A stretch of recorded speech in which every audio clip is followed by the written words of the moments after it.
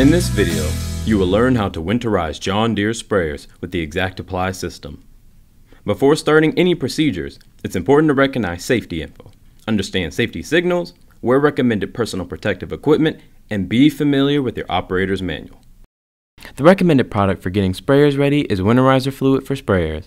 Please consult your dealer for sizing and pricing.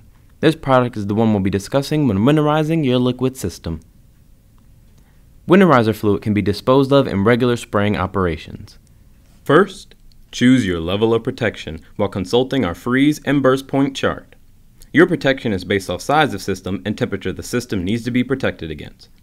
Your protection will vary based on the size of your system, and it is recommended to choose a level of protection that is at least 5 degrees Fahrenheit or 8 degrees Celsius lower than ambient temperature. This is the temperature you expect your equipment to be stored in. This is important because the level of freeze protection determines burst protection. As an example, if using a 30 gallon liquid system and wanting 50% freeze protection, this would be protection against negative 34 degrees Celsius and negative 30 degrees Fahrenheit, I would use 15 gallons of winterizer fluid. I'd then fill my system with another 15 gallons of water. If I wanted 18% freeze protection, I'd use 5.4 gallons of winterizer fluid and to fill my system, I'd mix with 24.6 gallons of water. It is not recommended to use RV antifreeze as this can be damaging to O-rings on the nozzle body, could lead to clogging, may result in burst pipes as part of improper winterization, or be harmful to the environment. Finally, we'll fill and rinse our system. It is recommended to set the system up for both AB mode and position turret on nozzle body with the 1, 2, and 3 in front. When we finally spray, the turrets will have to be manually rotated. This is set up to spray out of both the front and back nozzle at the same time. After choosing our level of protection, we decide to use our optional eductor. We press our eductor button which will also start the solution pump. We'll mix with water to fill our system. We open the smaller valve at the eductor to rinse the eductor bowl and then use the larger valve to suck the hopper empty and put into the solution tank. We activate agitation to fully circulate the mixture. Now you may activate rinse system.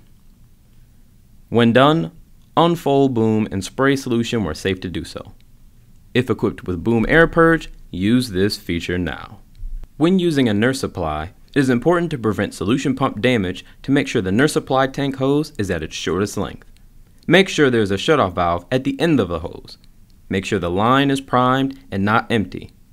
Make sure the supplies hose is equal or greater in diameter.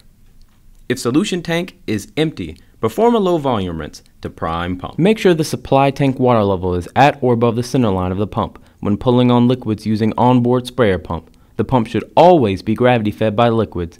Never use the pump to vacuum the water into the pump. If using quick fill access valve located next to the LoadCommand center on the side of the machine, you'll secure the nurse supply and open the valve manually.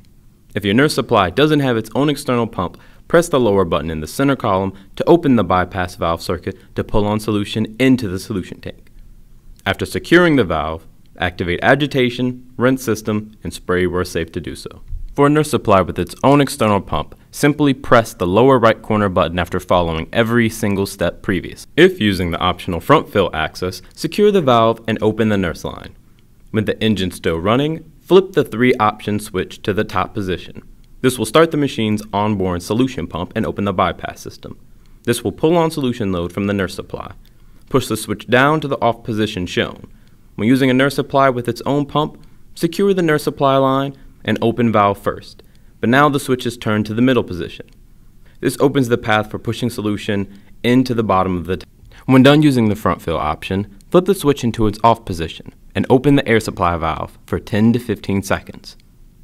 This will evacuate the fill hose into the solution tank. Activate agitation, rinse system, and spray where safe to do so. In this video, you've learned how to winterize your John Deere sprayer.